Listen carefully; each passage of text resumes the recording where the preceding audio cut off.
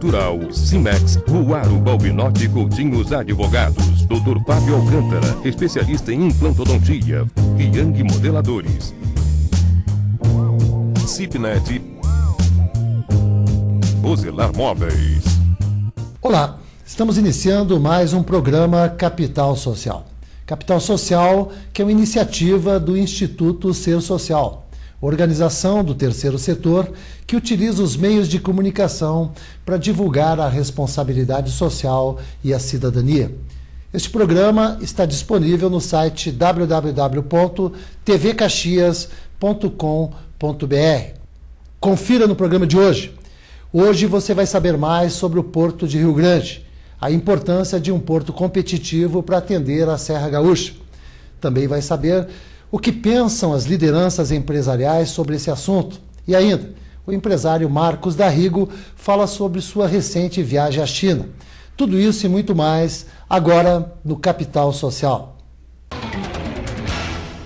Ao abrir a reunião almoço desta segunda-feira, o presidente da SIC, João Francisco Miller, enfatizou que as principais bandeiras da SIC dizem respeito ao desenvolvimento das exportações da Serra Gaúcha.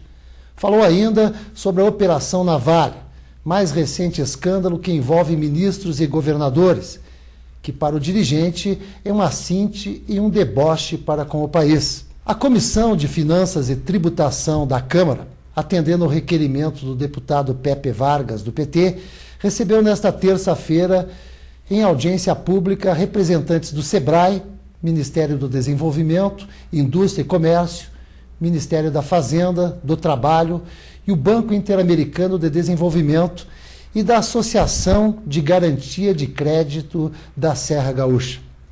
Na pauta, a instituição do Sistema Nacional de Garantia de Crédito, para micros e pequenas empresas. Isso vai ajudar a fomentar novos negócios na nossa região. Outra iniciativa do deputado Pepe Vargas é o projeto de lei que trata da venda de alimentos nas escolas.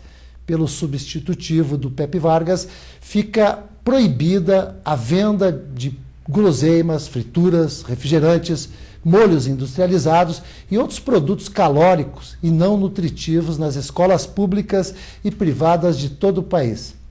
A justificativa, de